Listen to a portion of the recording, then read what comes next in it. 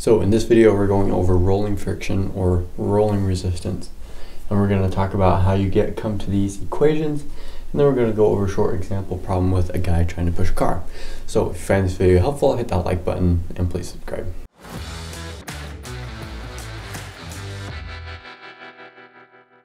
So say we have this disc here and it's being, it has this weight W and it's being pushed with a force P.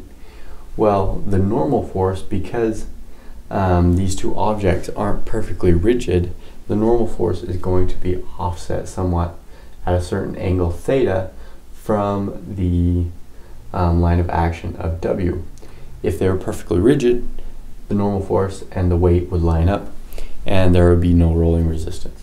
But because there is um, there is some deforming happening when these two objects are placed against one another, this normal force is going to be offset and it's going to have a component that's in the opposite direction of P.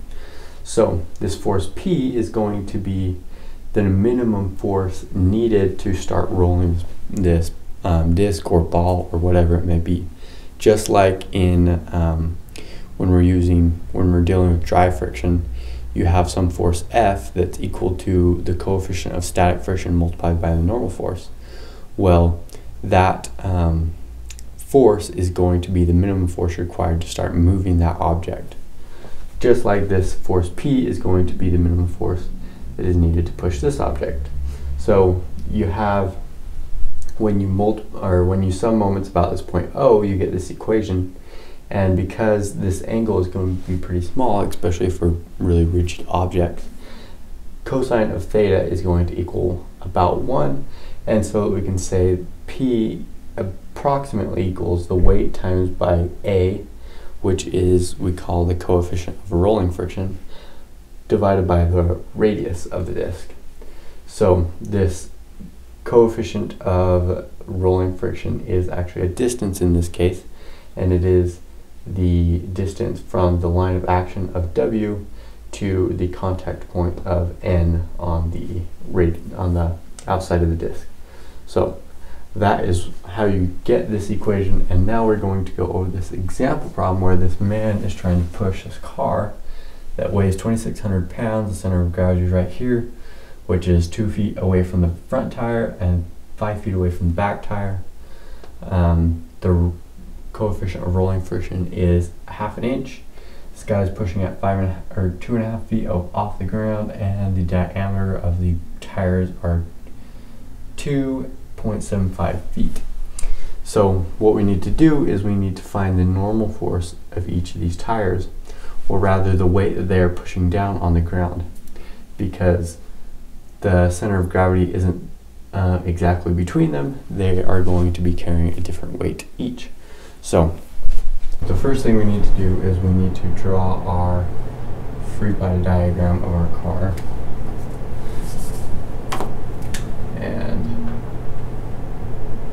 looks something like this. It's a rough sketch of it, but that is it. And then we have our force Pushing on it. We have our weight of gravity point, or weight pulling it down with 2,600 pounds. Um, we have our rolling resistance resisting the forward movement, we'll call it F sub R on each tire. And then we have each tire is um, supporting part of this 2,600 pounds. And we need to figure out how much of it is on each tire because our center of gravity isn't between isn't exactly between A and B. So each tire or each set of tires on the front and back are going to be carrying a different amount of weight. So we will we know that the normal force isn't going to be directly um, in the y direction if we call straight up the y direction and this the x direction. But um, to be able to find how much each tire is carrying, we can say say that it is. Um, so we'll call this normal force at B and the normal force at A. And because we just need to find out how much each tire is supporting from this 2,600 pounds. We don't need to include this force P in it. Um, so if we sum moments about a point, one of these points, we can figure out what um, each of these normal forces are. So first let's sum moments in about point A. And it is in equilibrium. It is not, the force P is going to be like the tipping point where it's going to not be moving but just almost moving. Um, so we know that this is this distance is two feet and this is five feet. So this um, 2,600 pounds is two feet away, so it is we have 2,600 times by two. And we will say the positive moment is counterclockwise um, with the right hand rule, so this is going to be a negative moment, so we'll put a negative right here. And then the normal force at B is going to be our other force. It is going to cause a positive moment. And so we'll say that normal force at B, it is 7 feet away, so multiply by 7. Solve this out and you get that the normal force at B equals um, 742.9 pounds. Now we can sum forces in the y direction and figure out what the normal force at A is.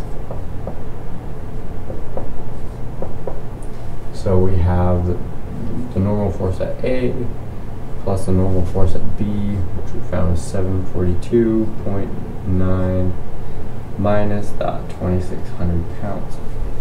So solve that out and you get that the normal force at A equals 1,857.1 pounds. Alright, so now we know how much each of these tires, how much weight each of these tires is carrying. So we, these will be our W's in this equation and then we can sum, then we can plug it into this equation and solve for that force P. Remember that each of these normal forces is the set of the front tires and the set of the back tires. So um, each of these, this normal force comes from both front tires and this normal force of B comes from both back tires. So we're kind of acting like there's only two tires here. So now we can set this equal so we know that P approximately equals um, our weight at, we'll start with A, we said that that was 1857.1 multiplied by A, which it was given to us in inches. Um, since this is a half an inch, um, multiply it by 1 over 12, we get that half an inch is 1 over 24 feet. And then we divide all this by the radius of the tires. We were given that it was 2.75 feet is the diameter. Half of that is 1.375 feet. So there's the front tires. This basically, all this equals F sub R in the front. Now we're going to do F sub R in the back. We have the normal force is 742.9 multiplied by 1 over 24 again and divided by 1.375 and then plug that all into your calculator and you get that P equals about 78.8 pounds. So you have to push, if the only thing resisting movement on this car was the rolling friction force, it would have to be pushed with 78.8 pounds of force. And it's not super realistic, but it is applicable. And so because of the all the variations that can come in um, calculating A experimentally, changes in rigidity and temperature and um, just slight um, errors of calculation, rounding, uh, it makes A kind of impractical to use. So Rolling resistance really isn't used that much in engineering, but you'll probably come across it across it in your classes. So this is how you do it. If you have any questions or suggestions, you can leave them down in the comments and I will reply to them. Also down in the description are some links to Amazon Teespring where you can buy some merch from student engineering and that helps me out a lot. If you're new to this channel, my name is Preston Palmer, Student Engineering, and my goal is to help other engineering students like me better understand engineering. So if you found this video helpful, hit that like button and please subscribe.